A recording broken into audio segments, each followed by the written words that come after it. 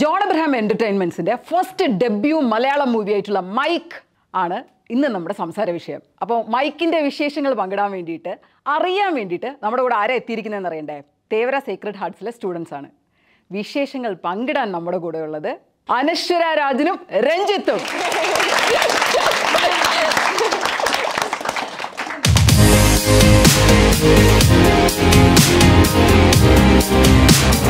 എന്തുണ്ട് വിശേഷം? സുഖമായിട്ടിരിക്കുന്നു. ഇനി അധികം അധികം വൈകാതെ പടം ഇറങ്ങാൻ പോവുക അതിന്റെ അതിന്റെ കുറച്ച് ടെൻഷനും എക്സൈറ്റ്മെന്റും ഒരു മിക്സ്ഡ് ഇമോഷൻസും ഉണ്ട്. ബട്ട് ഹോൾഡിംഗ് ഓൺ എക്സൈറ്റഡ് ആണല്ലേ നമുക്ക് വേണ്ട. നമുക്കൊരു നല്ല kind of tension positive tension അങ്ങനത്തെ ഒരു കാര്യമുണ്ടോ?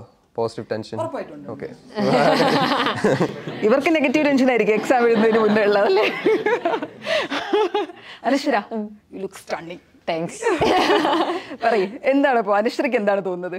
സന്തോഷം സുഖം സുന്ദരം. ശരിക്കും ഇതേ പറഞ്ഞ പോലെ ഒരു പോസിറ്റീവ് ടെൻഷൻ അപ്പോൾ എന്തായാലും ഇന്ന് ക്വസ്റ്റ്യൻസ് ചോദിക്കുന്നത് നമ്മുടെ സ്റ്റുഡൻസ് ആണ്. നമുക്ക് അവരിലേക്ക് കിടക്കാം? എന്റെ ചോദ്യം ശരിക്കും എന്താണ് മൈക്ക്?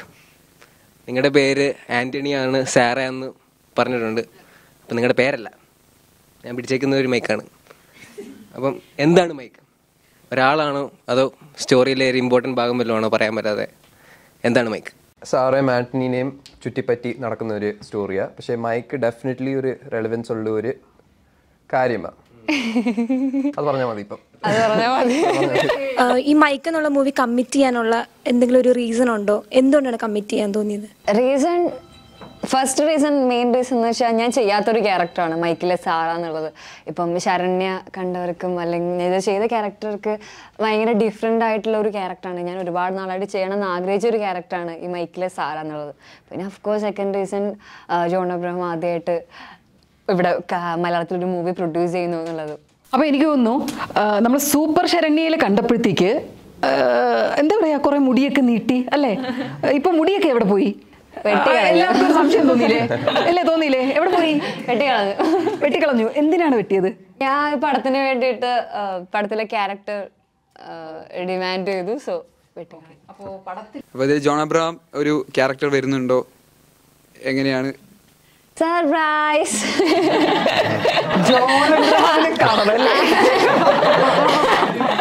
സ്റ്റണ്ട് മാസ്റ്റർ ആവുമ്പോൾ തന്നെ ഫീനിക്സ് പ്രഭു ആവുമ്പോൾ തന്നെ നമുക്ക് എന്തൊക്കെയോ അവിടെ പ്രതീക്ഷിക്കാം അല്ലെ? ഞാൻ കേട്ട ഒരു കാര്യം എന്താ വെച്ച് കഴിഞ്ഞാൽ അതിനു വേണ്ടിയിട്ട് സാറ മാർഷൽ ആർട്സ് പഠിച്ചു. കളരി, കളരി. അല്ലെ? കളരി. മാർഷൽ ആർട്സ് എല്ലാത്തിനും ഒരു മിക്സ് ഉണ്ട് അല്ലെ? അതിനെ കുറിച്ചൊന്ന് ഒരു വരി. ഇല്ല ഇല്ല കളരി അറിയില്ല. ഞാൻ ഇതിനു വേണ്ടിയിട്ട് ഞാൻ ഒരു ഒരാഴ്ച മുന്നേ ഞാൻ ട്രെയിൻ ചെയ്തായിരുന്നു. ഒരാഴ്ച മതിയോ കളരി പഠിക്കാൻ? കളരി വെച്ചാൽ ഇതിന് വേണ്ടി മാത്രം ആ ഒരു കൊറിയോക്ക് വേണ്ടി മാത്രം. അടിപൊളി. ടു മിനിറ്റ്സ് ഉള്ളൊരു ചെറിയൊരു സീൻ അതിന് വേണ്ടി മാത്രം ഞാൻ പഠിച്ചിട്ടുണ്ടായിരുന്നു. ഇപ്പൊ അത് കൂടുതൽ ഫൈറ്റ് രഞ്ജിത്തിനാണ്. ഒരു കാര്യം ഞങ്ങൾ രണ്ടുപേരും റോപ്സും ഡ്യൂപ്സും ഒന്നും ഉപയോഗിച്ചില്ല. ആ യെസ്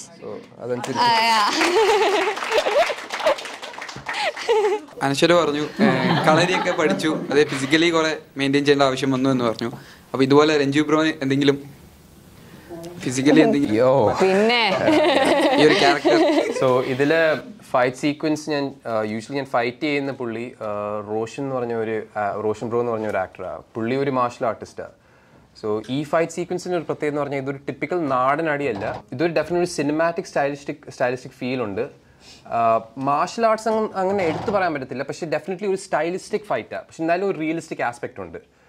സോ ഇതിന് കുറച്ച് പണി പണിയെടുക്കേണ്ടി വന്നു. നമ്മുടെ പറഞ്ഞ പോലെ നമ്മുടെ ഫീനിക്സ് പ്രഭു ഇത് കൊറിയോഗ്രാഫ് ചെയ്ത് പുള്ളിക്കാരനും പുള്ളിക്കാരന്റെ ക്രൂവിന്റെയും കൂടെ ഞാൻ ഒരു ത്രീ ഫോർ ഡേയ്സ് റിഹേഴ്സൽ ഉണ്ടായിരുന്നു. കാരണം ഈ ശരിക്കും പറഞ്ഞാൽ ഈ fight scenes it's like dance അതിനൊരു സെർട്ടൻ റിതമും കൊറിയോഗ്രാഫിയും ഉണ്ട്. കാരണം ഒരാൾ പഞ്ച് ചെയ്യുമ്പോൾ നമ്മൾ റൈറ്റ് ടൈം ഇങ്ങനെ ബ്ലോ ചെയ്ത് അങ്ങനെയൊക്കെ ചെയ്യണം. So and I dance so അപ്പോഴത്തേക്ക് എനിക്കത് എളുപ്പം ആ ടൈമിംഗ് കിട്ടാൻ പറ്റി. ബട്ട് ഡെഫിനറ്റ്ലി അതൊരു ഈസി പ്രോസസ്സ് അല്ലായിരുന്നു.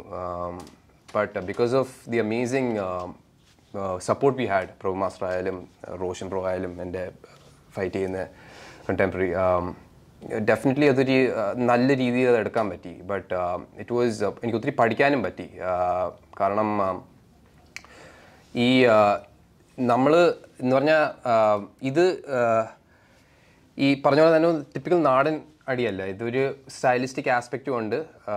ബട്ട് ഇറ്റ് വാസ് എനിക്ക് ഒത്തിരി ഒത്തിരി ഇൻഡെപ്ത് പോയാൽ ഐ വോണ്ട് സ്പോയിൽ എനിത്തിങ് നിങ്ങൾ പടം കാണുമ്പോൾ നിങ്ങൾക്ക് അറിയാൻ പറ്റും. അല്ല നമ്മൾ രണ്ടു പ്രാവശ്യം ഇവർ രണ്ടുപേരും പറഞ്ഞ് ഞാൻ ശ്രദ്ധിച്ചൊരു കാര്യമാണ്. പണിയെടുക്കേണ്ടി വന്നു പണിയെടുക്കേണ്ടി വന്നു. പണി കിട്ടിയോ? ഇത് ഷൂട്ട് കഴിഞ്ഞിട്ട്. ഷൂട്ട് കഴിഞ്ഞ് ഈ ഫൈറ്റ് സീൻ കഴിഞ്ഞിട്ട് ഞാൻ ലൊക്കേഷനിൽ പോകുമ്പോഴേക്കും ആളൊരു നടുര പാടാ. അത് ഈ നമ്മളിങ്ങനെ പൊതുവെ അറിയപ്പെട്ടൊക്കെ തുടങ്ങുമ്പോഴില്ലേ പൊതുവായിട്ടുള്ള സ്ഥലത്ത് ഇപ്പൊ നമുക്ക് എന്തെങ്കിലും പോയിട്ട് ഫ്രീ ആയിട്ട് എന്തെങ്കിലും ചെയ്യണം എന്നൊക്കെ തോന്നൂലേ?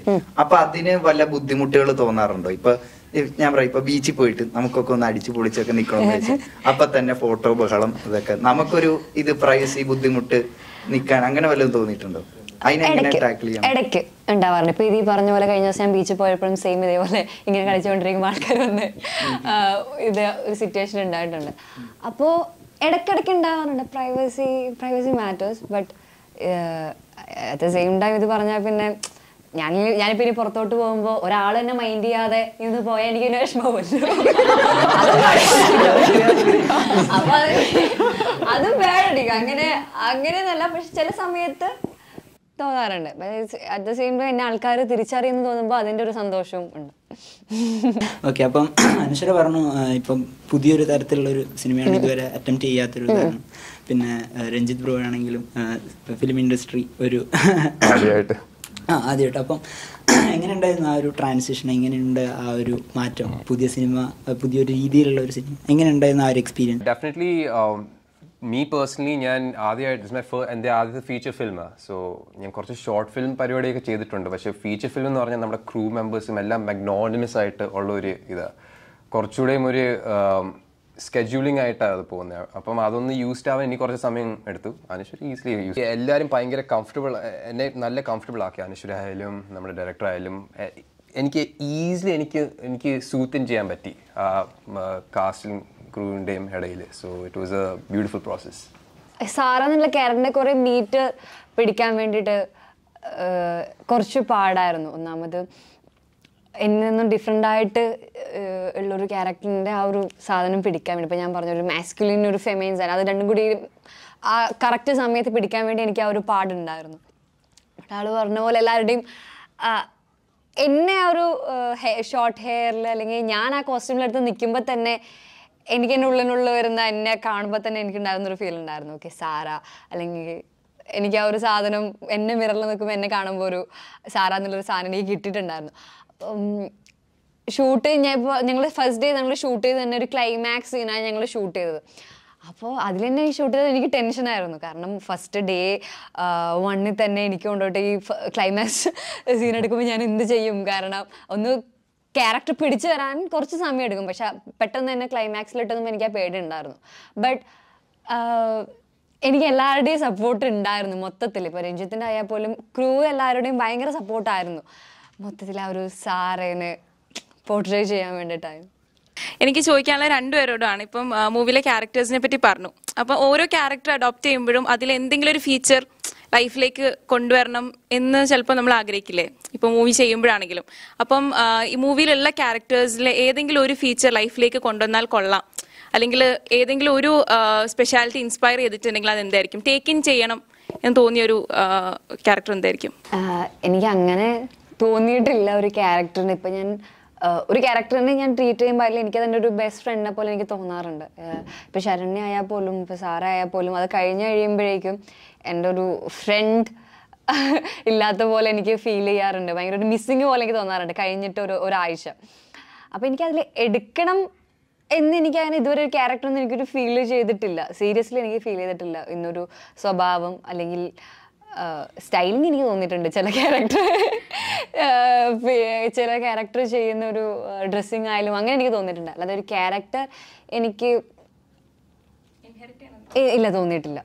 ഒരു ഫീച്ചർ ഒന്നും അഡോപ്റ്റ് ചെയ്തില്ല. ആ ക്യാരക്ടറായിട്ട് ഡ്യൂറിങ് ദാറ്റ് സ്കെഡ്യൂൾ ഓബിയസ്ലി ആ ക്യാരക്ടറായിട്ട് പെരുമാറണം ആ ബോഡി ലാംഗ്വേജും ശൈലിയും അങ്ങനെ അങ്ങനെ തന്നെ ആവണം. പക്ഷെ അതായിട്ട് വിട്ട് കാണണം because this is a character create ചെയ്യുന്ന ക്രിയേറ്റ് ചെയ്ത് നമ്മൾ കെയർഫുള്ളി മോൾഡ് ചെയ്ത് ഹാൻഡ് ക്രാഫ്റ്റ് ചെയ്ത് ഉണ്ടാക്കിയിട്ട് നമ്മൾ ലോകത്തോട് വിട്ടു കൊടുക്കണം. ടു യു ഗൈസ് പ്രേക്ഷകർക്ക് വേണ്ടി. പിന്നെ നമ്മൾ തിരിച്ചു വരണം. അങ്ങനത്തെ ഒരു മൈൻഡ് സെറ്റിലാണ് ഞാനും ഇരിക്കുന്നത്. പക്ഷേ it's not an easy process എന്ന് പറഞ്ഞാൽ ഇത്രയും നാളൊരു ക്യാരക്ടറിലൂടെ ആ ഹെഡ് സ്പേസിൽ നിൽക്കുന്ന പിന്നെ തിരിച്ചു മാറാൻ അത് കുറച്ച് സമയം എടുക്കും but eventually you have to come back to yourself ഈ ഒരു മൂവിയുടെ ഷൂട്ടിംഗ് കഴിഞ്ഞ് തിരിച്ചു വന്നപ്പോ എന്താണ് ആന്റണിയെ മിസ് ചെയ്തത്? ആന്റണി എന്ന് മാത്രമല്ല ആ സെറ്റിൽ എന്താണ് മിസ് ചെയ്തത്? ഡെഫിനറ്റ്ലി ഒരാഴ്ച എനിക്ക് ഒരു എംറ്റിനെസ് ഫീലിംഗ് ഉണ്ടായിരുന്നു കാരണം ഇതായിരുന്നു എന്റെ ജീവിതം. ഒരു എട്ട് മാസമായിട്ട് എന്ന് പറഞ്ഞാൽ ലൈക്ക് സെറ്റിൽ പോവുക ഇത് ചെയ്യുക അനുശ്വരനെ കാണുക എല്ലാവരും കൂടെ ഇന്ററാക്ട് ചെയ്യുക അതൊക്കെ ഡെഫിനറ്റ്ലി ഒരു ഒരു എംറ്റിനെസ് ഫീൽ ചെയ്തു ഒരാഴ്ച. പക്ഷെ എന്നാലും ഡെഫിനറ്റ്ലി നമ്മളെല്ലാ എല്ലാ no good things last forever പക്ഷെ എന്നാലും ഐ എനിക്കൊരു അപ്രീസിയേഷൻ ഉണ്ട്. നമ്മൾ ഇത്രയും ഹാർഡ് വർക്ക് ചെയ്ത് അതിന്റെ റിസൾട്ട് എല്ലാവരുടെയും ആ മറ്റേ കമ്പൈൻഡ് എഫേർട്ട് യു ആൾ കൊണ്ട് സീ സൂൺ സോ അതിന്റെ ഒരു ഉറപ്പ് വിശ്വാസത്തിലൂടെ ഇരിക്കുക. സാറേനെ തന്നെ എനിക്ക് മിസ് ചെയ്ത്. ഒരു കഴിഞ്ഞ കഴിഞ്ഞിട്ട് ആ ഒരു സമയത്ത് എനിക്ക് ഭയങ്കര എം ടി ഫീൽ ആയിരുന്നു. കാരണം ഞാൻ ഭയങ്കര എഫേർട്ട് എടുത്തൊരു ക്യാരക്ടറായിരുന്നു എനിക്ക്. ആ ഹെയർ കട്ട് ചെയ്ത മുതൽ ഞാൻ ഭയങ്കര സാറേനെ കൊണ്ടു നടക്കുന്ന ഒരാളായിരുന്നു. അപ്പോൾ പെട്ടെന്ന് പോയപ്പോൾ ഭയങ്കര ഒരു എം ടി ഒരു ഫീൽ ഉണ്ടായിരുന്നു. പിന്നെ of course I miss the crew ക്രൂവിൽ എല്ലാവരും ഇപ്പോൾ പറഞ്ഞ പോലെ നൂറ് ദിവസം ഞങ്ങൾ എല്ലാവരും ഒരുമിച്ചുണ്ടായിരുന്നു. ഡെയിലി പോകുന്നു കാണുന്നു. അപ്പോൾ ക്രൂവിനൊക്കെ എനിക്ക് ഭയങ്കരമായിട്ട് മിസ് ചെയ്തിട്ടുണ്ടായിരുന്നു. So this is first film. അപ്പോൾ ഇനവേ ഫസ്റ്റ് കോസ്റ്റർ എന്ന് പറയുമ്പോൾ അനശ്വര ആയിരിക്കും സോ അനശ്വരായിട്ട് അഭിനയിച്ചപ്പോൾ എങ്ങനെയായിരുന്നു ആ ഒരു experience it was a beautiful experience ഈ കഥേന്റെ സ്പെഷ്യാലിറ്റി എന്ന് പറഞ്ഞാൽ സാറെ മാറ്റിങ് കഥ ആ ക്യാരക്ടേഴ്സിന് കെമിസ്ട്രി വർക്ക് ആയില്ലെങ്കിൽ കഥ വർക്ക് ആവത്തില്ല. സോ ഇറ്റ്സ് റിയലി ഇമ്പോർട്ടന്റ് നമ്മൾ രണ്ടുപേരും we have to like same vibe ആവണം. And that way she was amazing to work with and നല്ല ഒരു ഇതുണ്ടായിരുന്നു I also hope you feel the same നമ്മൾ പക്ഷെ പെട്ടെന്ന് കമ്പനി കണ്ടിട്ട് ഒരാഴ്ച ആകുമ്പോഴേക്കും നമ്മൾ നല്ല കമ്പനി നല്ല company യാ രോഹിണി മാമനെ പോലുള്ള ഗ്രേറ്റ് ആയിട്ടുള്ള അതായത് കുറച്ചുകൂടെ എക്സ്പീരിയൻസ്ഡ് ആയിട്ടുള്ള ആർട്ടിസ്റ്റിനോടുകൂടെ വർക്ക് ചെയ്യുമ്പോൾ ടേക്ക് അവേ എന്തായിരുന്നു? ശരിക്കും എനിക്കല്ല രജിത്തിനായിരുന്നു സീൻസ് ഉണ്ടായിരുന്നത്. Rohini yeah, uh, Rohini auntie ഞാൻ റോഹിണി ആന്റി എന്ന് വിളിക്കുന്നത് so I grew up watching films little bit നമ്മുടെ പഴയകാലത്ത് റഹ്മാന്റെ കൂടെയൊക്കെ ആക്ട് ചെയ്ത് like she was a huge thing and പുള്ളിക്കാരന്റെ കൂടെ ആക്ട് ചെയ്യുന്നത് തന്നെ it was like I felt really comfortable എന്ന് പറഞ്ഞാൽ ഭയങ്കര എന്നെ ഒരു മോനെ പോലെ കരുതിയ. എനിക്ക് തോന്നി. എനിക്ക് നല്ലൊരു എൻവയൺമെന്റിലായിരുന്നു so she's an amazing actor so അങ്ങനത്തെ ഒരു ആക്ടിനൂടെ ആക്ട് ചെയ്യുമ്പം നമ്മൾ തന്നെ എലിവേറ്റ് ആവും. Because the actor is so good നമ്മളെ എലിവേറ്റഡ് ആയിട്ട് കാണിക്കും. അങ്ങനത്തെ ഒരു എനർജി ആയിരുന്നു Rohini ആന്റിക്കുള്ളായിരുന്നത് so I am extremely grateful and blessed ആദ്യത്തെ പടം തന്നെ ഇങ്ങനത്തെ ഒരു വെറ്ററൻ ആർട്ടിസ്റ്റിനോട് വർക്ക് ചെയ്യാൻ. It was a beautiful experience ഇപ്പം നമുക്കറിയാം പഴയ സിനിമകൾ പഴയ സിനിമകളിൽ ഒരുപാട് സീനുകളൊക്കെ ഇപ്പോൾ കുറേ സ്ത്രീവിരുദ്ധ പരാമർശങ്ങളായാലും സ്ത്രീവിരുദ്ധ ഡയലോഗുകളായാലും ഒക്കെ ഇന്ന് ഒരുപാട് ചർച്ചകൾക്കും ഡിബേറ്റുകൾക്കും വഴിയൊരുക്കുന്ന ഒരു സാഹചര്യമുണ്ട്. അപ്പോൾ അത്തരത്തിലുള്ള സിനിമകളെ പറ്റി അല്ലെങ്കിൽ അത്തരത്തിലുള്ള പരാമർശങ്ങൾ സിനിമയിൽ ഉപയോഗിക്കുന്നതിനെയൊക്കെ പറ്റി നിങ്ങളുടെ അഭിപ്രായം എന്താണ്? എനിക്ക് തോന്നുന്നു ഇപ്പം പുതിയ സിനിമകളിലൂടെ അത്തരത്തിലുള്ള ഭാഗങ്ങൾ നമ്മൾ കാണുന്നുണ്ട്. മൈക്കിനെ മൈക്കിന് സംബന്ധിച്ചും അത്തരത്തിലൊരു ഉത്തരം ഞാൻ പ്രതീക്ഷിക്കുന്നു. അതുപോലെ ഇതിനെ പറ്റിയുള്ള നിങ്ങളുടെ രണ്ടുപേരെ അഭിപ്രായം അറിഞ്ഞാൽ നന്നായിരുന്നു. ക്രിയേറ്റിവിറ്റിക്ക് അങ്ങനെ നമുക്കൊരു ബൗണ്ടറി ഇട്ടാൽ അത് ശരിയാവത്തില്ല. I feel like in creativity we can tell stories അതിലൊരു ഒരു ഒരു ബോക്സ് ഇട്ടാൽ അത് ശരിയാവത്തില്ല. ബട്ട് ഐ ഫീൽ ദാറ്റ് ഇത് ശരിക്കും ഒരു സോഷ്യലി റെലവെന്റ് ടോപ്പിക് എക്സ്പ്ലോർ ചെയ്യുന്നുണ്ട്. ബട്ട് ഡെഫിനറ്റ്ലി ചർച്ച ഉണ്ടാവാൻ സാധ്യതയുണ്ട് but I don't think it go അത്രയ്ക്ക് ഓവർബ്ലോൺ ഒന്നും ആവത്തില്ല. ഐ ഡോണ്ട് തിങ്ക് ഇറ്റ്സ് ഇതൊരു ചർച്ച ചെയ്യണം എന്ന് ആഗ്രഹിക്കുന്ന അല്ലെങ്കിൽ അങ്ങനെ ചെയ്യപ്പെടുന്ന ഒരു സബ്ജക്റ്റ് തന്നെയാണ്. ബട്ട് ഇത് പറയുകയാണെങ്കിൽ സാറേഡി വാൻഡിയുടെ ഒരു സ്റ്റോറിയാണ് but at the same time ആൾക്കാർക്ക് സംസാരിക്കണം. അല്ലെങ്കിൽ ഈ ഒരു സമയത്ത് റെലവന്റ് ആയ ഒരു സോഷ്യലി റെലവന്റ് ആയ ഒരു സബ്ജക്റ്റും കൂടെയാണ് മൈക്ക് എന്നുള്ളത്. പിന്നെ ഇപ്പോൾ പറഞ്ഞ പോലെ പണ്ടത്തെ കാലത്ത് ഇറങ്ങിയ കുറേ പടങ്ങളായാലും കുറേ മാസ് പടങ്ങളായാലും കുറേ റൊമാന്റിക് സംഭവങ്ങളായാലും നമ്മൾ ഗ്ലോറിഫൈ ചെയ്ത കുറേ സംഭവങ്ങൾ ഇപ്പോൾ നമുക്ക് ടോക്സിക് ആണെന്ന് നമുക്ക് മനസ്സിലാവുന്നുണ്ട്. അതെന്ന് വെച്ചാൽ പണ്ടത്തെ ആൾക്കാരുടെ പേഴ്സ്പെക്റ്റീവ് അല്ലെങ്കിൽ അവർ ചിന്തിച്ചുകൊണ്ടിരുന്ന കാര്യങ്ങൾ അങ്ങനെയായിരുന്നു അവർ കണ്ട് വളർന്ന കുറേ അങ്ങനെയായിരുന്നു പക്ഷേ ഇന്നത്തെ സം ഇന്നത്തെ ആൾക്കാർക്ക് കുറേ എക്സ്പോഷർ കിട്ടുന്നുണ്ട്. അവർക്ക് ഇന്നത്തെ നമ്മുടെ ജനറേഷൻ നമുക്ക് കുറേ എക്സ്പോഷർ കിട്ടുന്നുണ്ട്. അപ്പം നമ്മൾ ഇനി വരുന്ന ജനറേഷന് ഒരിക്കലും ഒരു തരത്തിലുള്ള ടോക്സിറ്റിയും നമ്മൾ കൊടുക്കാൻ വേണ്ടി നമ്മൾ അനുവദിക്കുന്നില്ല എന്ന് തന്നെ പറയാം. ഇപ്പം ഇറങ്ങുന്ന ഒരു സാധാരണ പടത്തിനാണെങ്കിൽ പോലും അതിന്റെ പൊളിറ്റിക്കലി നോക്കുമ്പോൾ അതിന്റെ നെഗറ്റീവും പോസിറ്റീവും ആൾക്കാർ പറയുന്നുണ്ട്.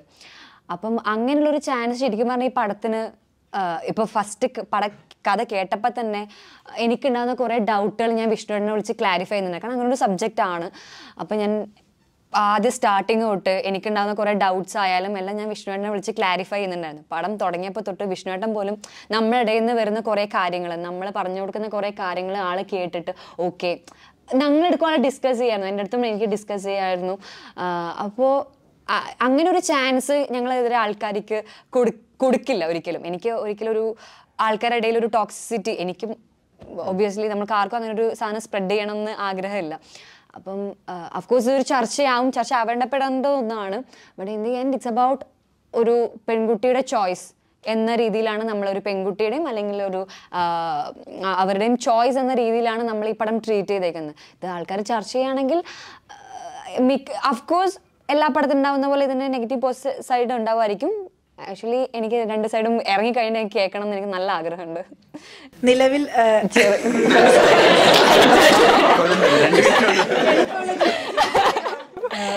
പഠിക്കുന്നുണ്ടോ? എന്ത് ചെയ്യാണ് ഓക്കെ. പഠിക്കുന്ന ഡിസ്റ്റന്റ് ആയിട്ട് ഡിഗ്രിക്ക് ഞാൻ സൈക്കോളജി നോക്കിയായിരുന്നു. പക്ഷേ മമിത പോയിട്ട് ഞങ്ങൾ ഒരുമിച്ചാണ് പ്ലാൻ ചെയ്തത് ശരിക്കും സൈക്കോളജിക്ക് പക്ഷെ അവൾ പോയി ആദ്യം ജോയിൻ ചെയ്തു. ആരെ? ഞാൻ ഡിസ്റ്റന്റ് ആയിട്ട് ചേർന്നു. ഇനി ഇനി കോളേജിൽ പോവാൻ മടിയല്ല. കുറച്ച് പാടലുണ്ട് കൂടി. അപ്പൊ ഞാൻ ഡിസ്റ്റന്റ് ആയിട്ട് ഡിഗ്രിക്ക് ജോയിൻ ചെയ്തിട്ട്. അപ്പോൾ നിങ്ങളെ പേഴ്സണൽ ആയിട്ട് നോക്കുമ്പോൾ ഏതെങ്കിലും ഇഷ്ടപ്പെട്ട ട്രാവൽ ലൈക്ക് പുതിയ ലെസൺസ് എന്തെങ്കിലും കിട്ടിയപ്പോൾ അങ്ങനെ എന്തെങ്കിലും ട്രാവൽ ഉണ്ടായിട്ടുണ്ടോ? നമ്മൾ ഏറ്റവും അടുത്തുള്ള ആൾക്കാരുടെ കൂടെ നമ്മളൊരു ഒരു യാത്രയ്ക്ക് പോകുമ്പം ഡെഫിനറ്റ്ലി ഒരു സ്പെഷ്യൽ ഇതുണ്ട്. നമുക്കൊരു മറക്കാത്തൊരു മെമ്മറി ക്രിയേറ്റ് ചെയ്യണം. ഇപ്പോഴും അങ്ങനെ ലൈഫ് ചേഞ്ചിങ് ആയിട്ട് എനിക്ക് പേഴ്സണലി ഒന്നും അങ്ങനെ വന്നിട്ടില്ല. But definitely I can resonate ചില ചില യാത്രകൾ ഭയങ്കര ഒരു life changing life altering situations ഒക്കെ ആൾക്കാർ എത്തിയിട്ടുണ്ട്. So it's I think more than physical travelling it's about finding yourself അങ്ങനെ ഒത്തിരി എന്ന് പറഞ്ഞാൽ ആൾക്കാർ ട്രാവൽ ചെയ്യും. ജസ്റ്റ് ഒരു സബാറ്റിക്കൽ ആയാലും നമ്മൾ ഒത്തിരി വർക്ക് സ്ട്രെസ് വർക്കിൽ ഒത്തിരി സ്ട്രെസ് ആയിട്ട് ഒരു സബാറ്റിക്കൽ എടുക്കണം. അല്ലെങ്കിൽ ഒരു സോളോ ട്രിപ്പ് പോകണം so travel is something that's associated with finding yourself ഞാൻ ഒരുപാട് ഇപ്പം യാത്ര ചെയ്തൊരു സമയമായിരുന്നു ഇപ്പോൾ കുറച്ച് കുറച്ച് ഞാൻ യാത്ര ചെയ്ത് തുടങ്ങി. അപ്പം റീസെന്റ്ലി ഞാനിപ്പോൾ പോയതിൽ വെച്ച് ഞാൻ പ്ലാൻ ചെയ്യാതെ ഞങ്ങളൊരു സ്ഥലത്ത് പോയി. ഇപ്പം അടുത്ത് സൂര്യനെല്ലി പോയി. പ്ലാൻ ചെയ്തിട്ടില്ല. പെട്ടെന്നൊന്ന് പോകണമെന്ന് തോന്നി ഞങ്ങളവിടെ പോയി. അപ്പോൾ അന്ന് ഒരു ദിവസം ഞങ്ങൾ കറങ്ങി അടിച്ച് ഫുൾ വന്നു. അന്ന് അവിടെ മീറ്റ് ചെയ്ത കുറേ അന്ന് മീറ്റ് ചെയ്ത കുറേ ആൾക്കാരുണ്ടായിരുന്നു.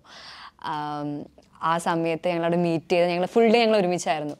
ആ ഒരു ആ- ഒരു കമ്പനി അല്ലെങ്കിൽ സ്ട്രേഞ്ചേഴ്സിന്റെ കൂടെ ഫ്രണ്ട്സ് ആവുന്നു. അങ്ങനെ കുറേ റിലേഷൻസ് കിട്ടുന്നത് അങ്ങനെയൊക്കെ ഉണ്ടായിട്ടുണ്ട്. ലൈഫ് ചേഞ്ചിങ് എന്ന് പറയാൻ പറ്റില്ല ബട്ട് ആ ഒരു ട്രാവൽ ഉണ്ടാകുന്ന കുറേ മെമ്മറീസ് കുറേ ആൾക്കാർ എന്റെ ക്വസ്റ്റ്യൻ രഞ്ജിത്തേട്ടനോടാണ്. സോ ആക്ച്വലി ഒരു ഫിലിം അസ്പ്രന്റ് ചെയ്യുന്ന ഒരു ജോൺ എബ്രഹാം പ്രൊഡ്യൂസ് ചെയ്യുന്ന പടത്തിന്റെ നായകൻ. ഇത്ര വലിയ ഇതിലോട്ട് എത്തിയ ജേണി അച്ഛൻ എന്താ ഫീൽ ചെയ്യുന്നത് ആക്ച്വലി ഒരു സെറിയൽ എക്സ്പീരിയൻസ് ശരിക്കും പറഞ്ഞാൽ. നമുക്കൊരു ഫീൽ ചെയ്യട്ടെ. നമ്മൾ ഒരു കാര്യത്തിന് വേണ്ടി വർക്ക് ചെയ്തുകൊണ്ടിരിക്കുമ്പം നമുക്കൊരു ഫീലിംഗ് വരും. Everything is coming to fruition എന്റെ ഡ്രീംസ് എല്ലാം റിയലൈസ് ആവുക. അങ്ങനത്തെ ഒരു സെറിയൽ മൈൻഡ് സെറ്റിലാണ് ശരിക്കും പറഞ്ഞാൽ ആദ്യം when I heard am doing this movie ആദ്യത്തെ ഒരാഴ്ച ഞാൻ ഒരു വാട്ട് ഈസ് ഹാപ്പനിങ് അങ്ങനത്തെ ഒരു മൈൻഡ് സെറ്റിലായിരുന്നു ബട്ട് ഡെഫിനറ്റ്ലി ഞാൻ അങ്ങനെ ഓവർവെൽഡ് അല്ലാതെ this is just the first step in my journey ഞാൻ സൂക്ഷിച്ച് സൂക്ഷിച്ച് മുന്നോട്ട് പോവുക. പക്ഷേ ഒബ്വിയസ്ലി ആ പാഷൻ ഒരിക്കലും നഷ്ടപ്പെടില്ല ബിക്കോസ് ഐ എം ബിക്കോസ് ആ പാഷനെ എന്നെ ഇവിടം വരെ എത്തിച്ചത്. ആ passion is something that hopefully keep me going ഈ ഇടയ്ക്ക് ഒരു പിക്ക് പോസ്റ്റ് ചെയ്തിട്ട് കുറച്ച് നാൾ മുമ്പാണ് കുറെ സോഷ്യൽ മീഡിയയുടെ ബുള്ളിംഗ് ഒക്കെ വന്നിട്ടില്ലായിരുന്നോ അപ്പൊ ഈ ഇടയ്ക്ക് ഇപ്പോഴും ഇപ്പം ഈ മൂവി ഇറങ്ങുമ്പോഴും വരുമല്ലോ. അപ്പം എങ്ങനെയായിരിക്കും ഒരു ഫസ്റ്റ് ടൈം എന്തായിരുന്നു റിയാക്ഷൻ ഫസ്റ്റ് അത് ആ പിക്കിന്റെ ഇത് വന്നപ്പോൾ എന്തായിരുന്നു റിയാക്ഷൻ ഈ ഇടയ്ക്ക് എന്ന് പറഞ്ഞാൽ രണ്ടായിരത്തി പതിനെട്ടിലാണ്. രണ്ടായിരത്തി പതിനെട്ടല്ല. രണ്ടായിരത്തി ഇരുപത്. അത് എനിക്ക് പതിനെട്ട് വയസ്സുള്ളപ്പോഴാണ് ഇപ്പൊ എനിക്ക് ഇരുപത് വയസ്സാകുമ്പോൾ പോവാ. അല്ല അത് കഴിഞ്ഞ് ലോക്ക്ഡൌൺ അല്ലായിരുന്നു? അപ്പൊ നമുക്ക് ഇപ്പോൾ ഒരു ഇന്റർവ്യൂ കിട്ടി. അപ്പൊ സോ അത് വന്നപ്പോ എനിക്ക് ആൾക്കാര് കാരണം ഞാൻ ഇടുന്ന ഡ്രസ്സുകളാണ് ഞാൻ അങ്ങനെ ഒരു സമയത്ത് ഞാൻ അങ്ങനെ പോസ്റ്റ് ചെയ്തൊന്നേ ഉള്ളൂ. അപ്പോൾ അതിന് വന്ന റെസ്പോൺസ് ആ സമയത്ത് എനിക്ക് ഭയങ്കര വിഷം ദേഷ്യ വിഷമോ സംതിങ് എനിക്ക് ഇഷ്ടപ്പെടില്ല. കാരണം എന്റെ വീട്ടുകാരും ഇലക്കെ പറഞ്ഞ സമയത്ത് അപ്പം ഞാൻ അതിന് റിയാക്ട് ചെയ്തതാണ്. എന്റെ അതിനുശേഷം ഒരുപാട് ആൾക്കാർ അതിനുശേഷം അതിന് അവർക്കുണ്ടായ എക്സ്പീരിയൻസ് കുറേ പേർക്ക് അങ്ങനെ ഒരു എക്സ്പീരിയൻസ് ഉണ്ടായിട്ടുണ്ട്. അപ്പോൾ അതിന് അവരും അതിനു വേണ്ടി സംസാരിച്ചു. സോ അതൊരു ക്യാമ്പയിനായി മാറി. അല്ല ബിക്കോസ് ഇത് ഞങ്ങൾക്കും ഞങ്ങൾ കോളേജ് സ്റ്റുഡൻസ് ആണ് ഞങ്ങൾക്കും ഈ ഇഷ്യൂ വരുന്നുണ്ട്. ഇവ നമ്മുടെ കോളേജിലും വരുന്നുണ്ട്. സോ ഇപ്പൊ നമ്മൾ പെൺകുട്ടികൾക്ക് തന്നെ അറിയാം നമ്മളൊരു ഇഷ്ടമുള്ള നല്ല കംഫർട്ടുള്ള ഡ്രസ്സ് ഇടുമ്പോൾ നമുക്ക് കിട്ടുന്ന കോളേജിലായാൽ പോലും എല്ലായിടും നമുക്ക് കിട്ടുന്ന നോട്ടങ്ങളായാലും അവരുടെ ആൾക്കാരുടെ റെസ്പോൺസുകളായാലും സോ ഞാൻ എല്ലാവർക്കും വേണ്ടിയാണ് അങ്ങനെ ഒരു പോസ്റ്റ് ചെയ്തത്. എല്ലാ പെൺകുട്ടികൾക്കും വേണ്ടിയിട്ട്. അതെ. ഇതുവരെയും കുറേ നമ്മുടെ സൂപ്പർ സ്റ്റാർസ് നമ്മുടെ ഇപ്പോഴ വളരെ സ്ട്രോങ്ങർ ആയിട്ടുള്ള ആർട്ടിസ്റ്റുകൾ ഒരുപാട് പേര് ചെയ്ത റോൾസ് ഉണ്ട്. ഏതെങ്കിലും ഒരു റോൾ കണ്ടപ്പോൾ ഇത് എനിക്ക് ചെയ്യാൻ ഒരു അവസരം ഇതുപോലൊരു റോൾ എന്നൊരാഗ്രഹം തോന്നിയിട്ടുണ്ടോ? മലയാളം സിനിമ മാത്രമാണോ അതോ മൊത്തത്തിൽ. ഹൃത്തിക് റോഷൻ. ആ ആക്ച്വലി എനിക്ക് ഋത്തിക് ഗുസാരിഷ് എന്ന് പറഞ്ഞ പടം കണ്ടോ? എല്ലാവരും? അങ്ങനത്തെ ഒരു റോൾ എനിക്ക് ചെയ്യാൻ നല്ല താല്പര്യമുണ്ട്. അങ്ങനത്തെ ഒരു ഒരു ക്വാഡ്രിപ്ലീജിക് ആയിട്ട് എന്ന് പറഞ്ഞാൽ അത് മൊത്തം ഫേസ് ഫേഷ്യൽ ഇമോഷൻസ് ക്യാരി ചെയ്യുന്നത്. അതിന്റെ അത് നല്ല ചാലഞ്ചിങ് റോൾ അപ്പോഴത്തേക്ക് എനിക്ക് അതൊരു അതിനൊരു ഇൻട്രസ്റ്റ് ഉണ്ട്. പക്ഷേ നോക്കാം. ഈ ഫ്യൂച്ചറിൽ എന്തെങ്കിലും ഈ എപ്പിസോഡ് കാണുന്ന എല്ലാ ഡയറക്ടേഴ്സിനും എന്തായാലും പുള്ളി ചെയ്യും. അനശ്വരയ്ക്ക് അങ്ങനെ എന്തെങ്കിലും ഒരു റോൾ ഉണ്ടോ? ഹൈവേയിൽ ആലിയ ഭട്ട് ചെയ്ത പോലെ ഒരു ഈ സിനിമയിൽ ഹിഷാം അബ്ദുൽ വഹാബിന്റെ മ്യൂസിക് തമിഴിലെ വലിയൊരു ആക്ഷൻ ഡയറക്ടറിന്റെ സ്റ്റൺ കൊറിയോഗ്രഫി അതിന്റെ ഇടയ്ക്ക് അനശ്വര കളരി പഠിക്കുന്നു. നൂറ് ദിവസം ഷൂട്ട് ചെയ്യുന്നു. നിങ്ങളുടെ എല്ലാ ക്യാരക്ടേഴ്സും ഡ്രോമി ഡ്രോമയില്ലേ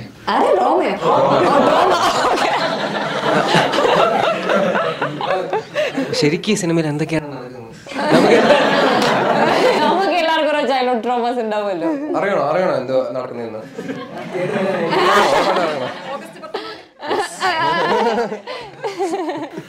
ഒന്നും ഒന്നും പറയുന്നില്ല നിങ്ങൾ ഞാൻ കുറെ നേരമായിട്ട് ട്രൈ ചെയ്യുന്നു.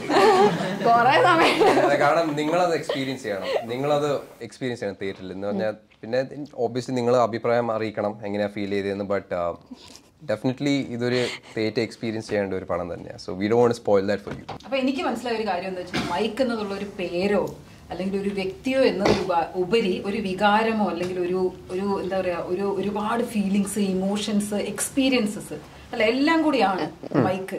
അപ്പോ മൈക്കിന്റെ റിലീസ് എന്നാണ്? August 19th. അപ്പോൾ ജോൺ അബ്രഹാം മൂവിയുടെ ജോൺ അബ്രഹാം എന്റർടൈൻമെന്റ്സിന്റെ പ്രൊഡക്ഷൻസിന്റെ കൂടെ തന്നെ ബെസ്റ്റ് ക്രൂ ആണ്. അപ്പൊ നമുക്ക് ഒരുപാട് നാഷണൽ അവാർഡ് വിന്നേഴ്സ് ഒരുപാട് ബെസ്റ്റ് കമ്പോസർ അങ്ങനെ ഒരുപാട് അവാർഡ്സ് കിട്ടിയിട്ടുള്ള. മാത്രമല്ല അനശ്വര ഇപ്പോൾ ഒരു അഭിനയിച്ച മൂവിക്ക് ഒരു എന്താ ജൂറി അവാർഡ് കിട്ടിയിട്ട് ഇരിക്കുന്ന ഒരു സന്ദർഭം. എല്ലാം കൂടി ആയപ്പോ അല്ലേ എന്താ പറയാ ടോപ്പിംഗ് ഓൺ കേക്ക് കേക്ക് എന്ന് പറയുന്നത് ഓഗസ്റ്റ് നയന്റീൻ അത് റിലീസ് ചെയ്യാൻ പോകുന്നത് അപ്പൊ നമുക്ക് എല്ലാവർക്കും കാണാം. മൈക്കിന് വീണ്ടും. Yes Thank you.